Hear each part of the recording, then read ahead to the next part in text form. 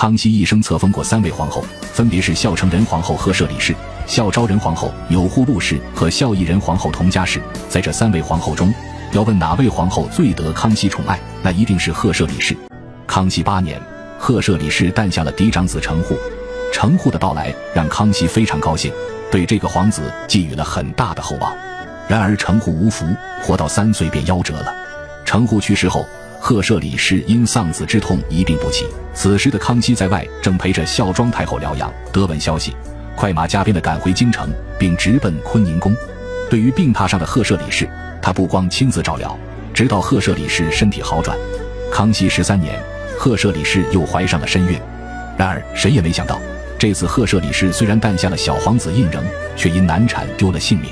才喜得贵子的康熙，就经历失去爱妻的痛苦，这让他悲苦不已。